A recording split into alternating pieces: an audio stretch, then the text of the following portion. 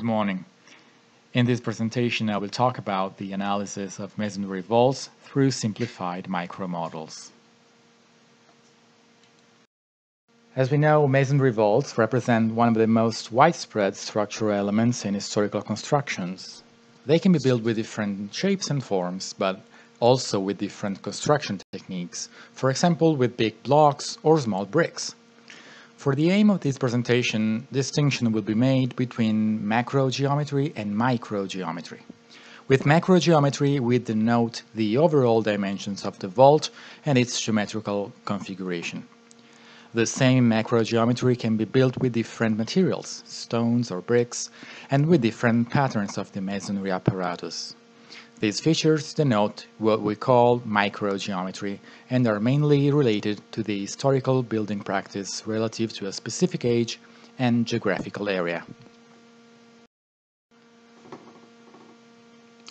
Great attention to bricklaying and the creation of the masonry apparatus can be found in the European technical literature published between the 15th and the 19th century, which has deeply dealt with the constructive phases of vaults. This careful description of bricklaying best practices probably highlights the desire to increase the strength of brick vaults also through the building techniques. In the technical literature, great attention is also given to the description of wooden centerings, which had to be carefully designed in order to be able to withstand the weight of the vault until completion and act as a geometrical guide. In some cases, the construction of wood formwork was difficult if not impossible. The retrieval of wood was an additional issue for larger vaults and domes, especially in some geographical areas where wood was scarce. To overcome these problems, self-supporting structures were invented, and the most fam famous example is certainly the Brunelleschi Dome of Santa Maria del Fiore in Florence, which you can see on the left side of the screen. The possibility of constructing without formwork is strictly correlated to the internal microgeometry of the masonry apparatus, since only specific building techniques allowed for the construction without supports. One, one of the oldest methods, though, is the so-called pitched brick vaulting, which you can see on the right side of the screen. It is an, an, adaptation developed in the first century of the Roman Empire of a much older Near Eastern and Egyptian technique that was used in mud brick architecture from at least the 3rd millennium BC, known as Nubian vaulting. If in the Near East the scarcity of wood may justify the use of pitched vaults, in the European tradition we can see that vertical bricks are most often used only at the crown of the vaults. The reason for using vertical bricks at the crown of the vault when the haunches are built of radial bricks is not always clear. Choisy speculates that haunches are built of radial bricks without centering until the point where this was no longer possible, and then the vault was completed with vertical bricks. The choice of vertical bricks, even if formwork was used, can be explained considering that once every new course was closed, it began to act as an arch, therefore relieving the formwork below from part of, a, of the vault weight. This could have resulted in a smaller and cheaper wood structure. One further consideration in choosing vertical bricks for the crown could relate to the builder's perception of some structural advantage. As can be seen from the figure on the bottom left, the classic crack pattern consists in two hinges at the intrados, therefore not visible from underneath, and one at the extrados at the crown. So builders observing this behavior would have naturally perceived the crown as a weak point. Today we finally have the possibility to scientifically investigate these issues related to brick pattern.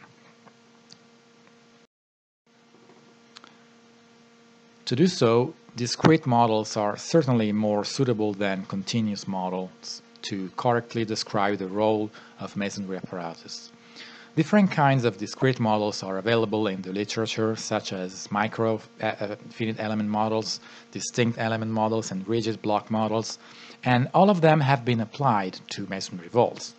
The use of discrete models usually implies the need to adopt um, to uh, adopt ad hoc written numerical codes or ad hoc implemented constitutive laws to correctly describe masonry behavior.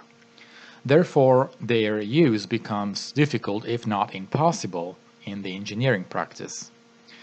The proposed method of analysis tries to overcome these uh, limits by implementing a simplified micro micromodeling approach within the general-purpose FEM software Abaqus and using built-in constitutive models to describe masonry constitutive laws.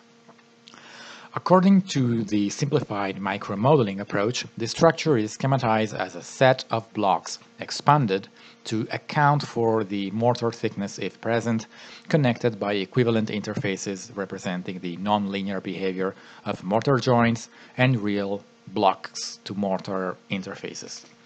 The blocks are modeled as deformable elements with linear elastic behavior whose mechanical parameters are, are the elastic modulus, the Poisson coefficient, the material density. In the interfaces, normal and tangential components are assumed as uncoupled, and the normal uh, contact in compression is assumed as almost rigid through the definition of a normal stiffness Kn. The tangential behavior is assumed to be purely frictional, Therefore, the mechanical parameters describing the interfaces are Kn and the friction coefficient.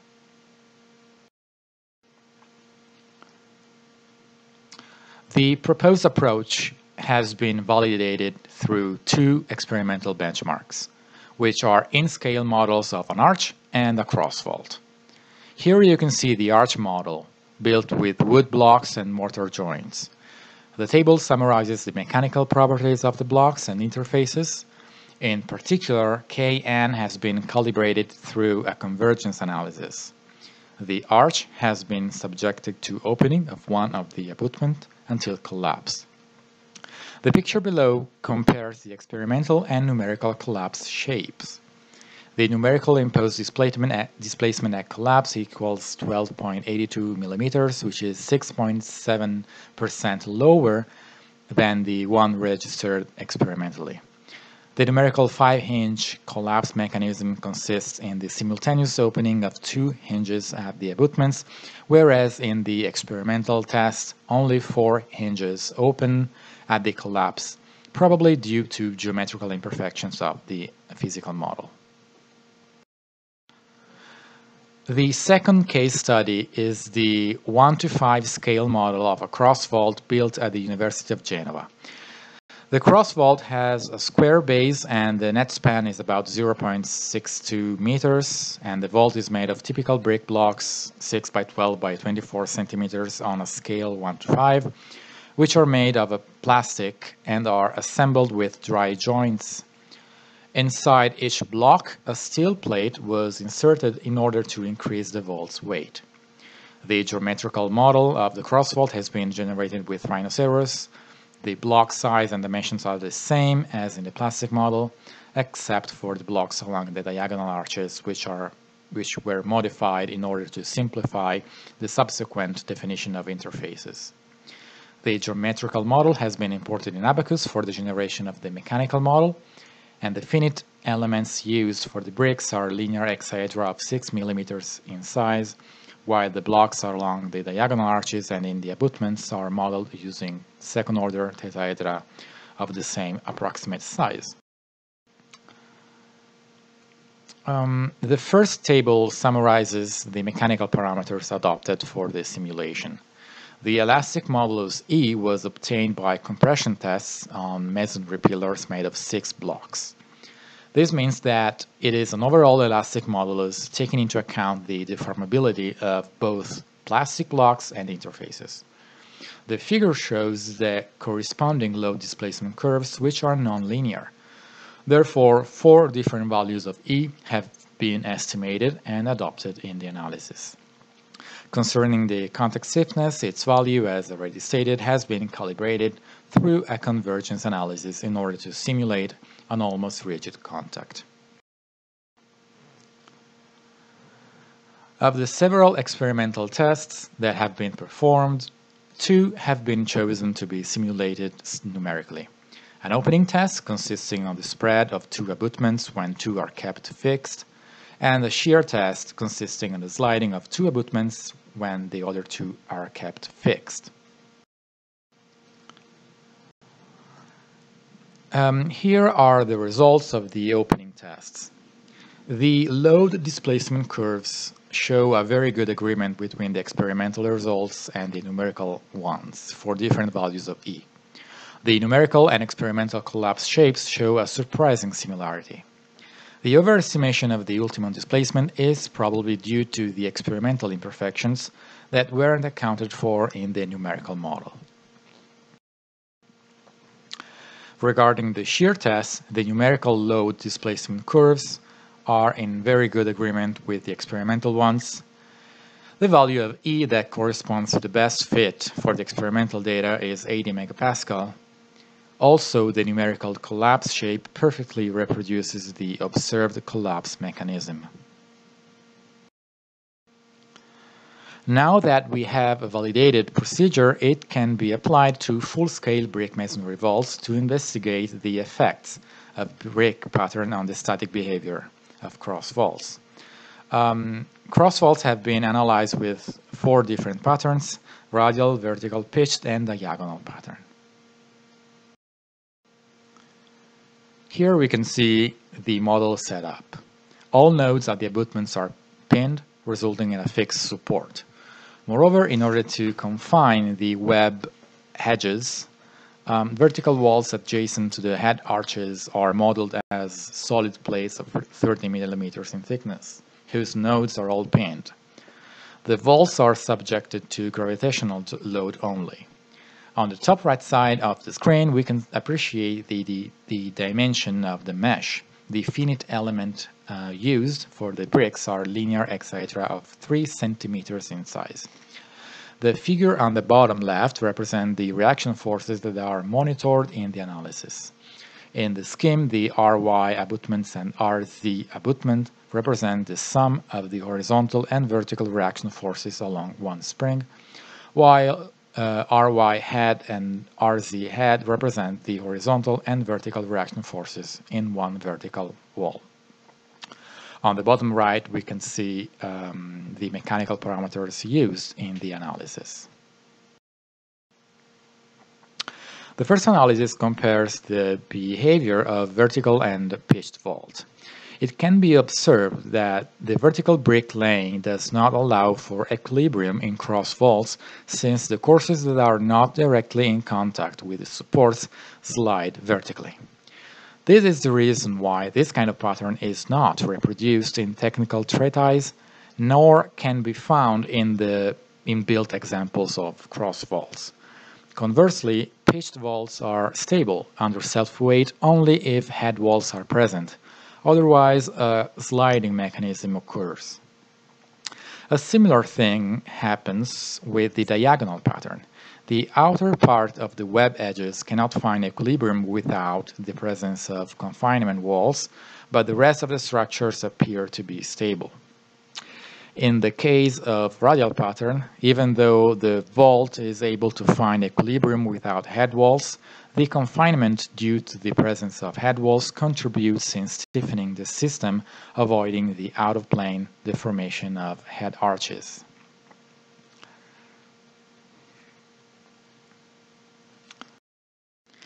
This is also evident when looking at the contour plots of vertical displacement, which are almost 65% smaller at the crown when walls are present in the case of radial pattern.